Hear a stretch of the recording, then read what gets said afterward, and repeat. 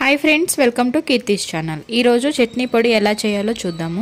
ముందుగా స్టవ్ మీద బాండీ పెట్టి పచ్చిశనగపప్పు కమ్మని వాసన వచ్చేదాకా నూనె వేయకుండా విడిగా వేయించి వేరే ప్లేట్లోకి తీసుకోవాలి.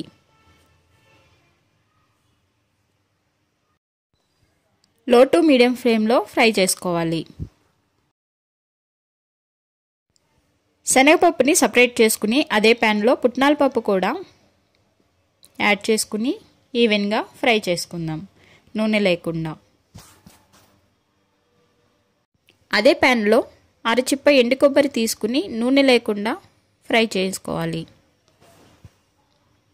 ఈవెన్గా ఫ్రై అయిన తర్వాత సపరేట్ చేసుకుందాం. చిన్న నిమ్మకాయ సైజ్ అంత చింతపండు తీసుకుని గింజలు ఈనెలు లేకుండా చూసుకోవాలి. దానికి ఉప్పు యాడ్ చేసుకుని ఫ్రై చేసుకుందాం. టూ స్పూన్స్ ఆయిల్ యాడ్ చేసుకుని ఇందులో హాఫ్ టీ స్పూన్ మెంతులు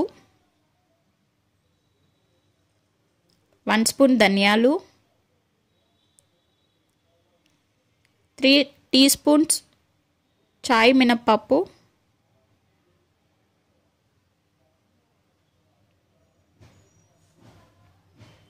హాఫ్ టీ స్పూన్ పసుపు వన్ టీ స్పూన్ జీలకర్ర టెన్ టు ఫిఫ్టీన్ ఎండుమిరపకాయలు యాడ్ చేసుకుని ఈవెన్గా ఫ్రై చేసుకుందాం.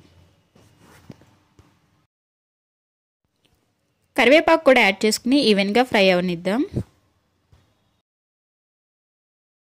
పోపు మనం విడిగా వేయించుకున్న పదార్థములన్నీ చల్లగయ్యేంత వరకు వెయిట్ చేయాలి. మిక్సీలో ముందు పచ్చిశనగపప్పు వేసి ఫైన్గా పౌడర్ చేసుకుందాం. దానిలో పుట్నాలు కూడా యాడ్ చేసుకుందాం. మనం ముందుగా ప్రిపేర్ చేసుకున్న పోపు కూడా వేసి ఈవెన్గా గ్రైండ్ చేసుకుందాం.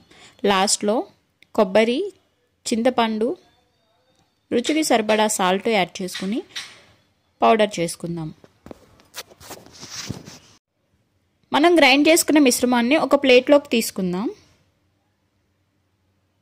ఉప్పు సరిపోయిందో లేదో చూసుకుని ఉండలు లేకుండా హ్యాండ్స్తో ఈవెన్గా మిక్స్ చేసుకోవాలి. ఇది హెయిర్ టైట్ కంటైనర్లో స్టోర్ చేసుకుంటే వన్ మంత్ వరకు స్టోర్ ఉంటుంది. ఇది అన్నంలోకి దోశల్లోకి ఇడ్లీలోకి నెయ్యితో సర్వ్ చేసుకోవచ్చు. ఈ వీడియో మీకు నచ్చినట్టయితే లైక్ చేయండి కామెంట్ చేయండి. Thank you for watching